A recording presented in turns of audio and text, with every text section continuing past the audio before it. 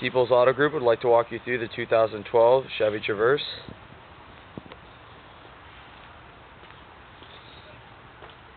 Alloy wheel package.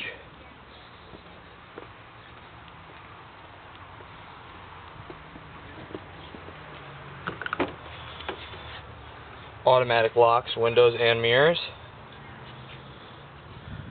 Automatic lights. Climate control CD player. Outlet.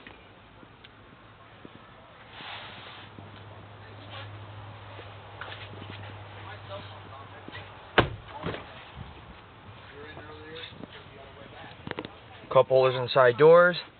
Climate control, another outlet. First row to seating with armrests. Back row with fold down seats. Cup holders and sides.